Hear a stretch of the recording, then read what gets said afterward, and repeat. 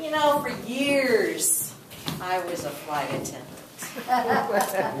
I'm so tired of this flight attendant story. You know, that's old, old news. What are you doing for me today? Look, can't I live in the past just a little bit? I mean, it was such a nice time for me before I met you.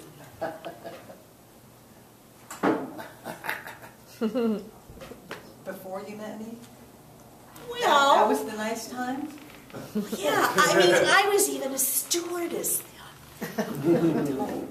No, stewardesses are kind of the apex of the, the occupational hierarchy, and, and I was a lowly CEO. Not true. I mean, how could I? I mean, I could never do that. My God, you know, CEOs, they're good for nothing. All they do is rip people off, and stewardesses serve people. Stewardesses make people brighten their days. Oh, I'd love a cocktail, thank you. Okay. Better now? now, I mean, I, I really appreciate you. I mean, Could you freshen this up, please? Oh, a new one. Thank you. That's you're what I love about welcome. We always have to be ready. You ready? Well, for a lot of different things. Like you were for Jose?